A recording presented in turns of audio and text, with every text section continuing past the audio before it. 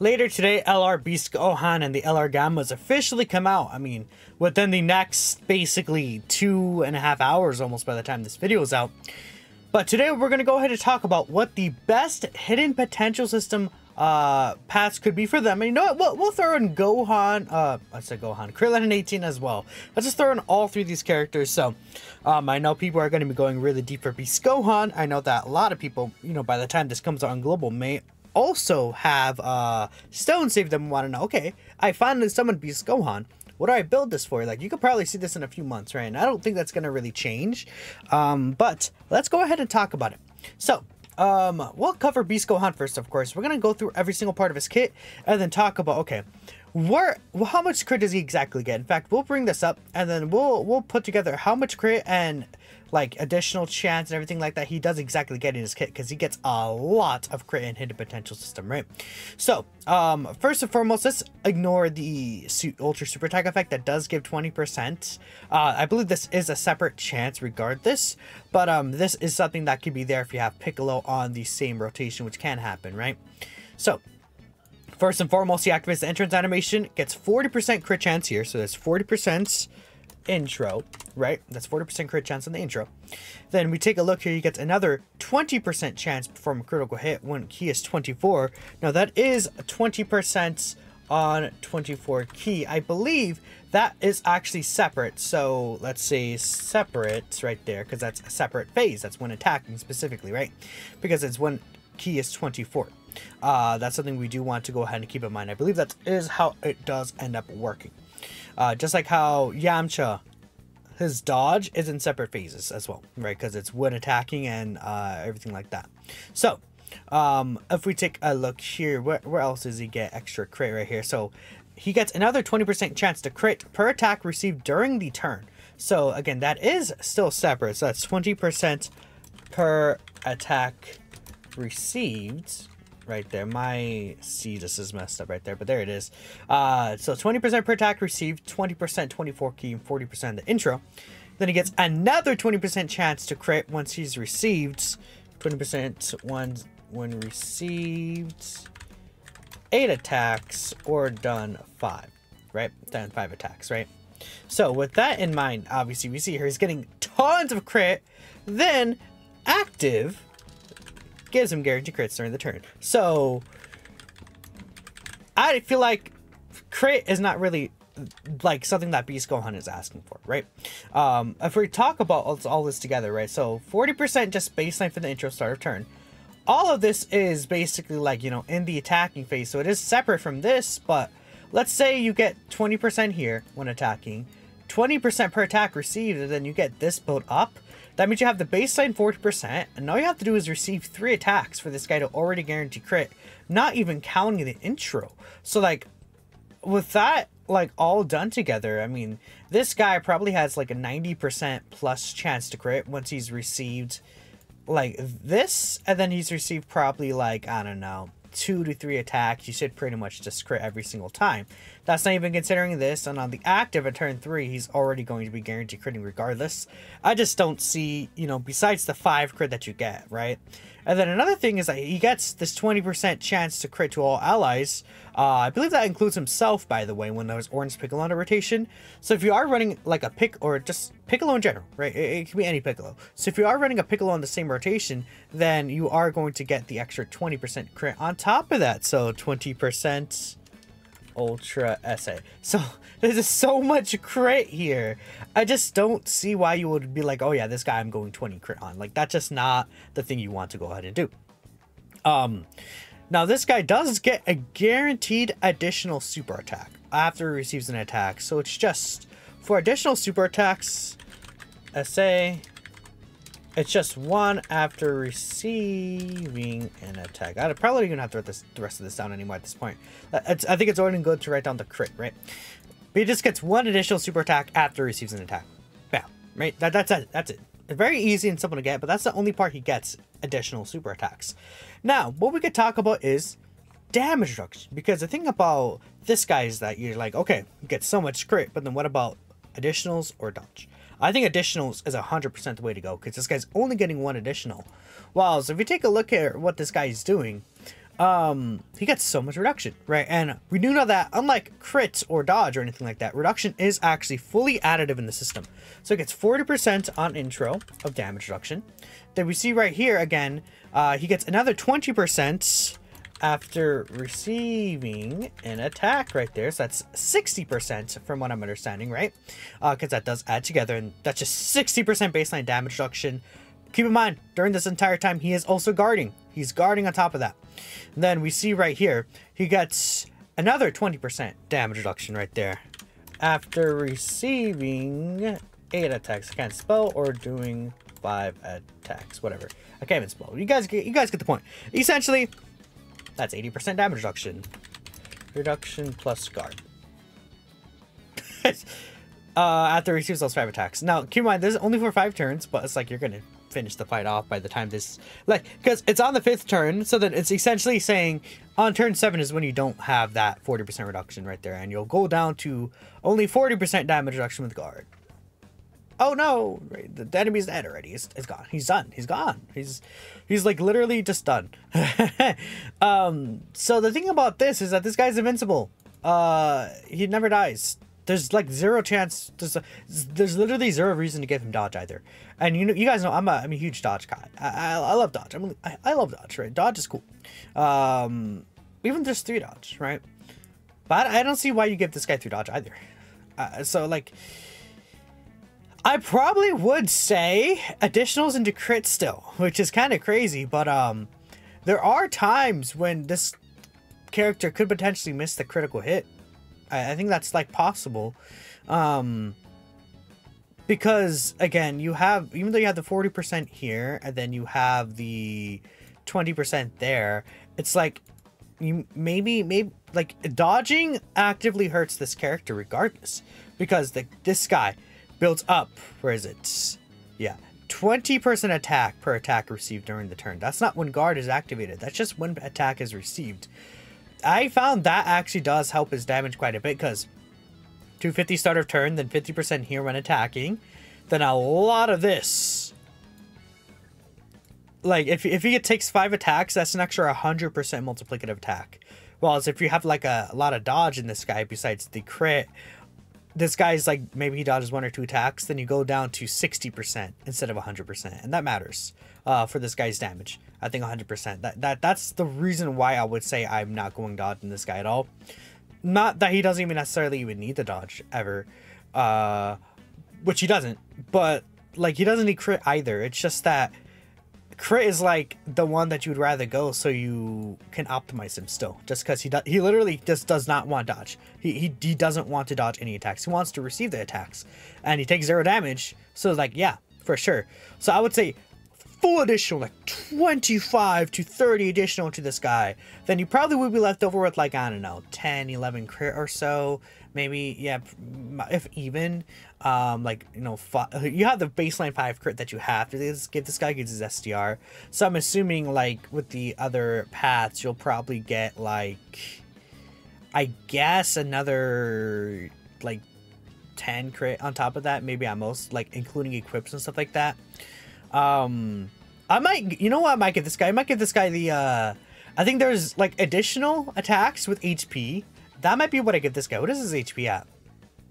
21,000. Yeah, give him like 600 HP equipped right there. Uh, no, I think, yeah, this is, I don't know, like 400. I think, is it 900 HP? I mean, it, if that is the case, I have to find the equips in there. But that'll shoot him up to uh to 22.3k HP, right? You know, more HP could be useful for the team in general, right? That'll like more HP for the team for this guy will benefit you more than dodge. So that's what I would recommend for Beast Gohan. The Gammas here. Uh, the thing about the Gammas is that they have less crits in their kit, right? And they also have less reduction, right? Just starting off right here. So, again, let's go ahead and break down the crit for the Gammas right here. So we see, again, they have just normal stats right there.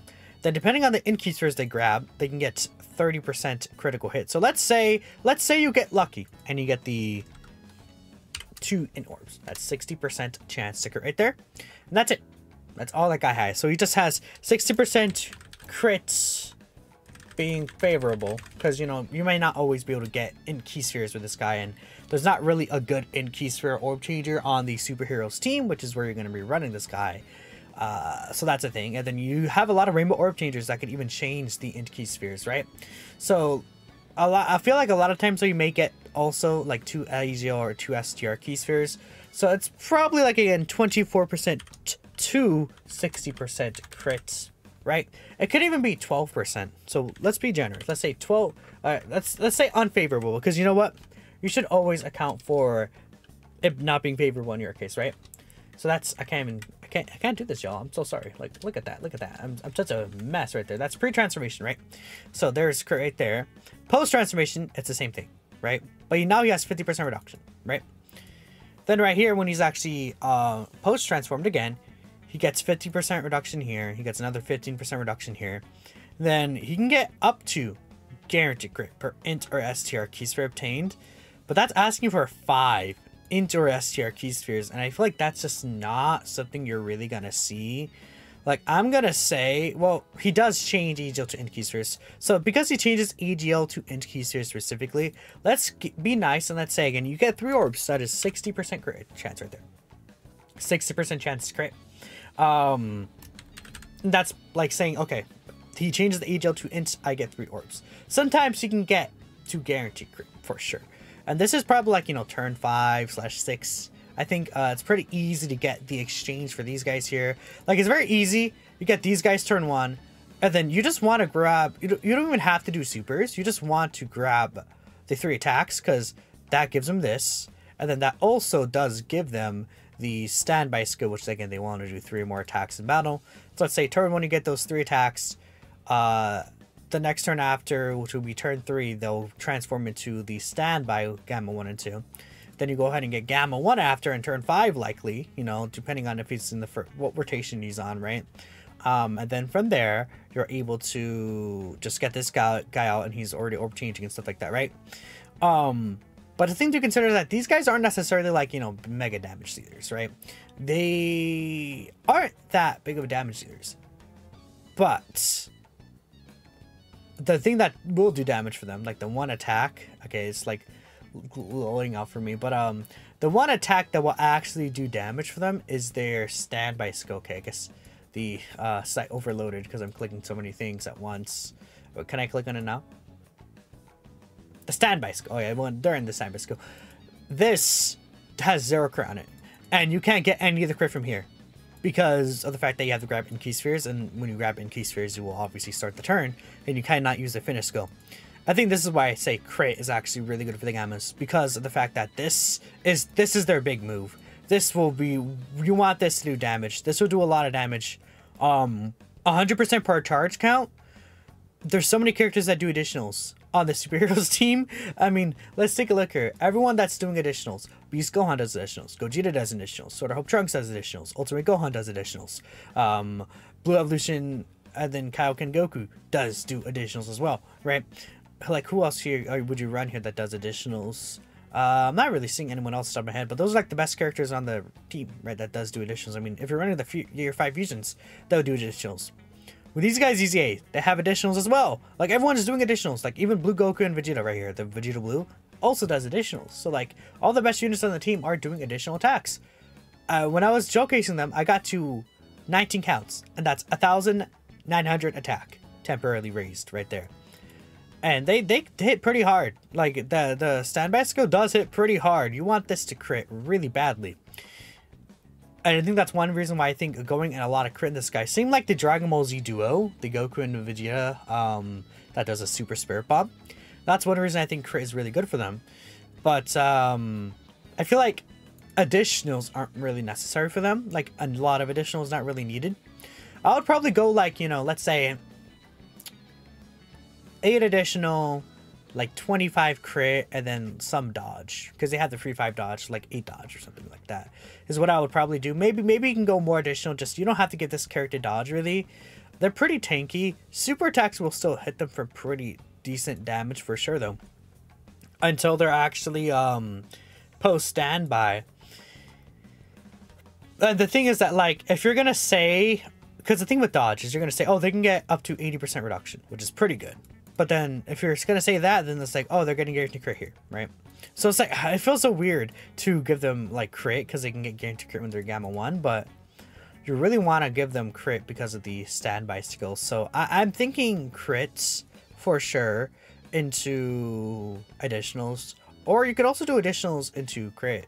Uh, that's fine as well. But I think just the standby skill not being able to crit, you really want that um, really, really badly. Or else I would have probably said full additional uh, for this guy, or even like full dodge into additionals. But um, I think crit is way more important, and you still want some additionals here, just in case. You know, it, it'd be helpful to get the extra attack and defense raise, but it's like you can go crit into dodge or crit into additional. I think at the end of the day, it doesn't really matter too much. Like them getting their fourth additional attack it's like fine, right? You know, they don't necessarily need to get their fourth additional attack. It'd be nice if they get it, but you know, I think that's my point there. I think for these guys, definitely, definitely though, you want to have at least a chance to get the fourth additional, just because it'd be it'd be good.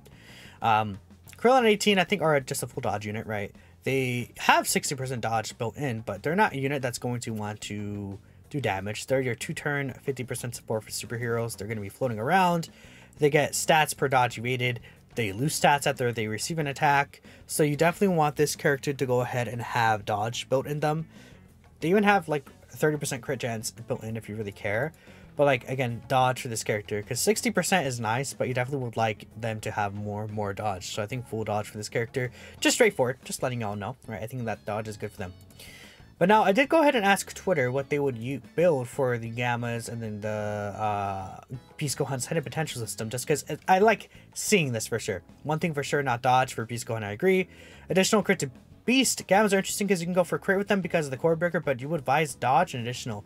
I don't know, man, because it's like I could see dodge and additional build for them, but I think the core breaker you really want to crit with that core breaker, and then it's like they're still tanky. It's not like they have to have dodge. Dodge would just be useful for them to have, right?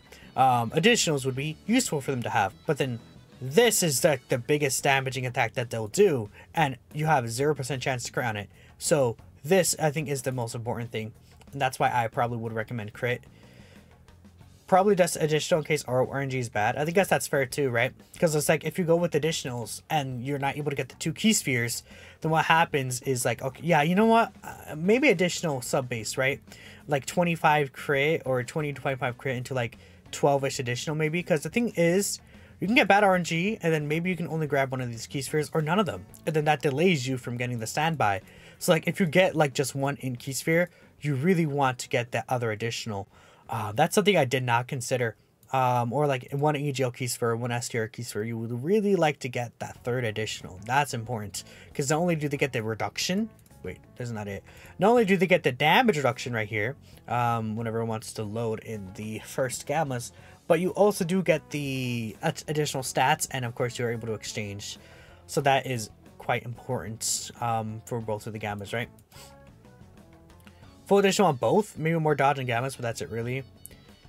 Yeah, I think additionals for Gohan and Beast, but I think gammas crit into additional. And then wait, there's one more I think right here. Let's see. Beast additionals to crit, then gammas additionals to dodge. I think was it's saying. Full dodge, no. Beast additional, gammas crits. Yeah, Gohan's tricky because he's full, obviously, AA, but he needs no dodge in his bone crit. He just does everything. Yeah. Again, I would still just go crit um, just because you just don't want to dodge. And that, that's really it. Helicopter. Oh god, okay, well, there, okay. yeah, it seems like, not, not full dodge, I mean, this is joking around. Seems like everyone is agreeing with what I'm saying. Additional dodge for the Gammas, I don't know. Let me know what you guys think. I think crit for the Gammas is definitely the best way to go about it. Additional, like, uh, well, there's, I'm just saying additional dodge and crit all at the same time. Crit into additional, is what I'm taking for the Gammas. And then you, if you want crit to dodge, I wouldn't blame you. But I wouldn't like build additionals main. Or I wouldn't build um, dodge main for this guy. But maybe you think maybe I'll think I'm overvaluing the core breaker. Let me know. And then for these guys, I mean, 100% additional into crit for sure. You don't want dodge. So let me know again what you guys are gonna do. Thanks for watching, and I'll be live when the banners are up. I'll catch you next time.